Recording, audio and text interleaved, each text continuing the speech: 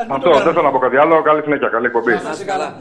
Να είσαι καλά. Ας, Επόμενη έ- γραμμή. ας έβαζε και ο Πογέτρα μου Κωνσταντέλια μέσα να ήταν σε φόρμα ο παίκτης του Πάου. Γιατί δεν τον έβαλε.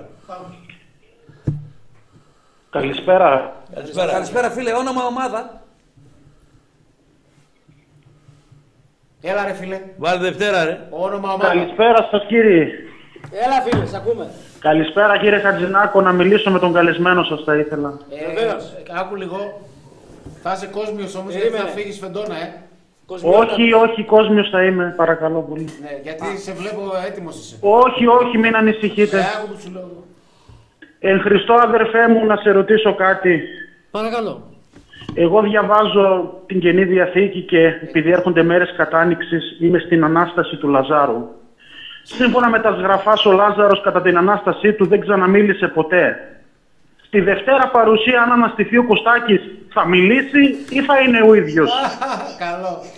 Θα μιλήσει, θα Επίσης, Πολύ μιλήσει. καλό. Πολύ καλό φίλε. Για το χάραγμα του Αντιχρίστου, Ναι, του μήπως Χρήστου. μπο- θα έρθει Ποιανού με Χρήστου, λαχνούς; Ποιανού Χρήστου λες τώρα, ποιου Χρήστου; Έχεις μαλακία. του Επίθετο Αντιχρίστου. του Χατζηχρήστου. Του Αντιχρίστου Α, το του χάραγμα με Χατζηχρήστου. τους λαχνούς. Ναι, ναι, του Χατζηχρήστου φίλε. Ναι. Ναι, βλάξ, πες. Ε, συγγνώμη, Χατζηχρήστου. Για πες. Σε πήρε ο Αντίχριστος να Άντε, ξέρεις. βλάκα, ε, Έβγαινε. βλάκα. Ηλίθιε. Όποτε βγαίνει, κόβει απευθείας. Στο λέω από τώρα. Απευθείας.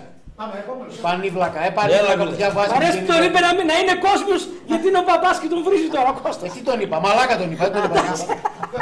Α, συγγνώμη, το αποσύρω. Γιατί έτσι πρέπει να λέμε. Τον ηλίθιο, α, και αυτό το αποσύρω.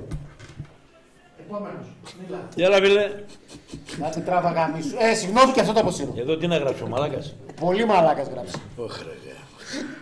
Έλα καλησπέρα παιδιά. Καλησπέρα φίλε, όνομα και ομάδα παλικάρι.